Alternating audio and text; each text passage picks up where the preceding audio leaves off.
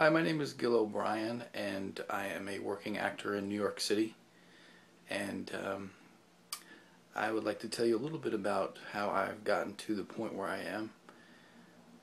Um, I was working as an accountant in New York City, and I just was not happy with what I was doing, so I decided to work full-time as an actor. And I was able to do that through um, a little bit of savings and um, a uh, six-month unemployment insurance uh, payout, if you will. So I did a few things before I decided to pursue my dream. And uh, the first thing I did was I saved a little bit of money, and uh, that amount is about $3,000.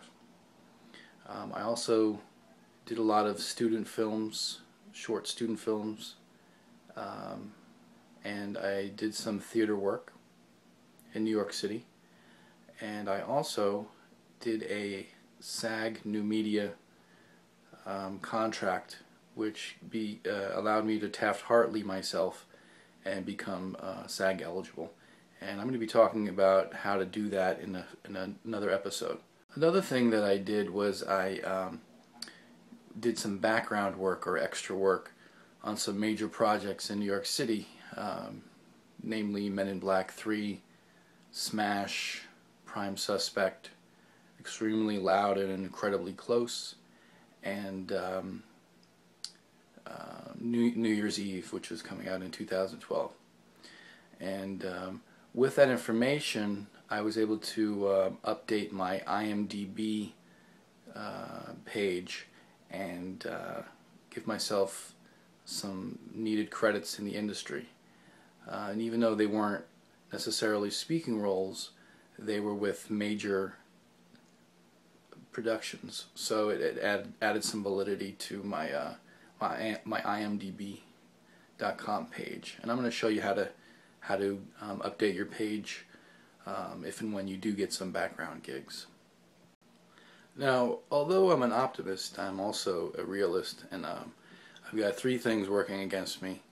Um, that I know of. There might be some other ones, but uh, the main ones are my age. I'm 42 years old, so uh, a lot of the leading role um, auditions that I, I, could have gone out on when I was younger, I can't go out on those anymore, so I, I realize that.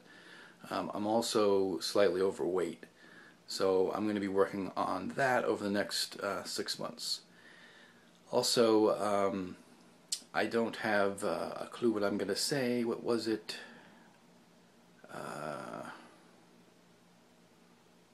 Oh, I have a problem with blinking. Um, and that's one of the, one of these one of the things that will probably help me with these videos is um, being able to uh, recognize and correct my, my uh, excessive blinking. Uh, so when I go into auditions, uh, it won't be as much of a problem. Okay, and finally, I just wanted to let everybody know that I'm going to be doing this from six, for six months starting on um, August 1st of 2011. Um, and I'm doing a little bit more prep work um, un until that time. Um, but I'm going to give myself a hard deadline of six months.